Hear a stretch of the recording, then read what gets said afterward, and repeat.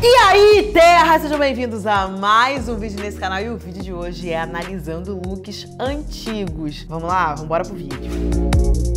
Bem, gente, sabemos que a moda, ela se renova, né? Só que, na verdade, muita coisa era moda e voltou a ser moda agora, né? Muita coisa surgiu, muita coisa voltou a ser moda, por exemplo, crochê. Crochê era moda há anos atrás, voltou a ser moda agora. Outra coisa que voltou a ser moda, gloss labial, né? Nós passamos pela era do mate e tempos depois voltamos à moda do gloss. Outra coisa também que era moda há anos atrás e que voltou agora, coisa de plumazinha, sabe? Eu não sei o nome. Coisa de plumas. Era moda e voltou a ser moda agora, enfim. E eu vou mostrar pra vocês alguns looks antigos meus que eu vou contar pra vocês aqui se eu usaria novamente ou não.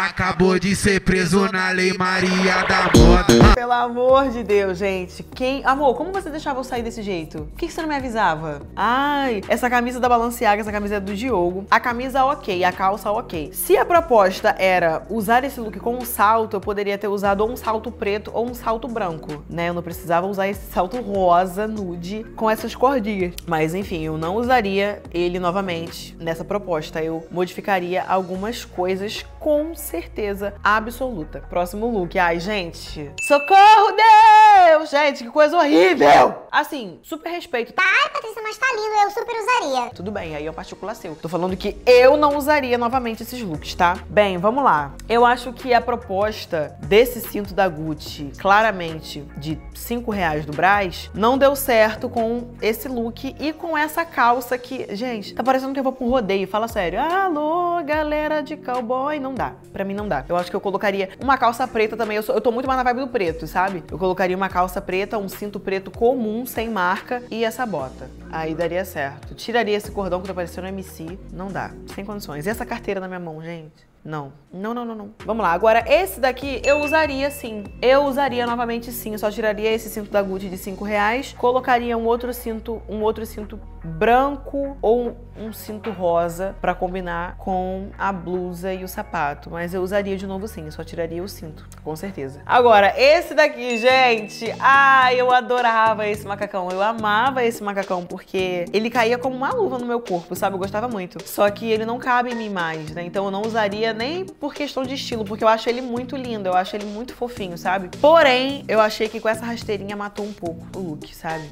Eu acho. E esse cordão também não casou, acho que não é proposta do look. Eu usaria novamente, se coubesse em mim, eu usaria novamente com um saltinho branco ou um saltinho bege, assim, esse meio bege mostarda da cor do macacão. E bem, vamos lá. É, esse tem um certo relacionamento de amor e ódio. Confesso que esse aqui. Eu não usaria essa calça. Eu acho que o rasgo dela já passou do joelho, já tá na minha canela. Enfim, não deu muito certo esse rasgo aqui. Eu acho que essa rasteirinha é mais pra uma proposta de um vestido, sabe? Um, ou um macaquinho, algo mais leve do que uma calça jeans. Essa blusa eu super usaria novamente, sabe? Ela com um short de quais alto. Eu acho que ela fica bem bonita e ela com um botãozinho aberto. Acho que fica bem top. Não usaria esse cinto da Valentino de 5 reais, do Braz também. Gente, esse look aqui, esse dia o Diogo falou que eu estava linda. Lembra, amor, desse dia aqui?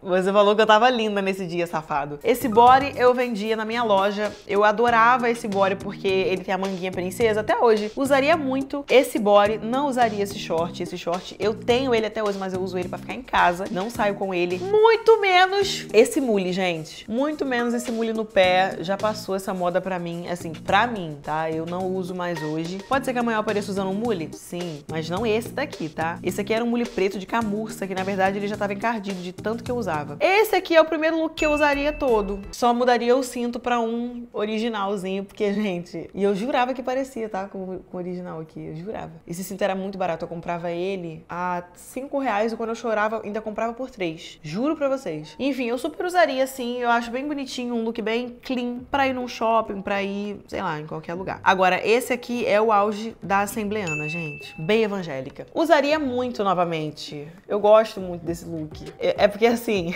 Ai, meu Deus. Eu usaria novamente, sim. Eu usaria. Eu usaria, sério. Usaria, sim. Eu usaria. Só que assim, ah, usaria, usaria.